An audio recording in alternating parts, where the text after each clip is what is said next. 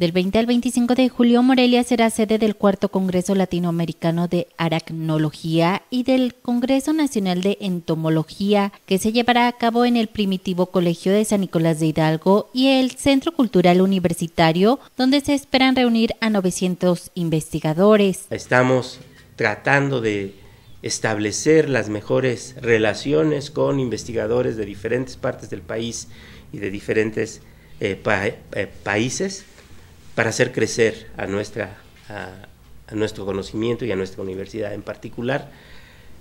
Y que también es relevante que entendamos que Morelia puede ser un lugar en donde los científicos pueden venir, en donde la gente puede venir a desarrollar su trabajo y que estamos en la mejor disposición de, interactuar con ellos.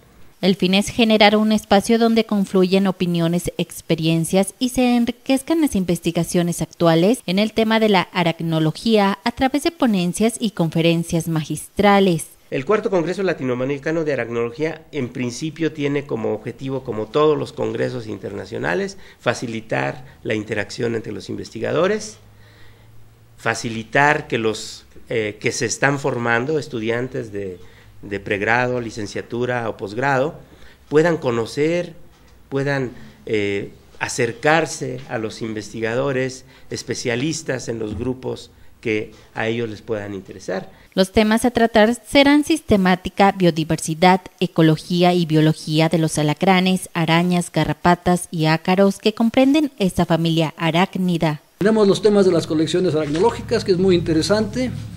Tenemos otro simposio que les comentaba, este, los coordinadores son el, doctor Alfredo Peretti y Anita Eisenberg, que es elección femenina en arácnidos. ¿Cómo eligen las hembras con qué machos aparearse? ¿Qué mecanismos hay? En tanto que el Congreso de Entomología tiene el fin de contribuir a la difusión de este conocimiento que estudia a los insectos, donde se espera una participación de 70 instituciones nacionales, 50 extranjeras y se espera una asistencia de 600 entomólogos y aracnólogos. Con información de José Guadalupe Rodríguez, informa Cuasar TV.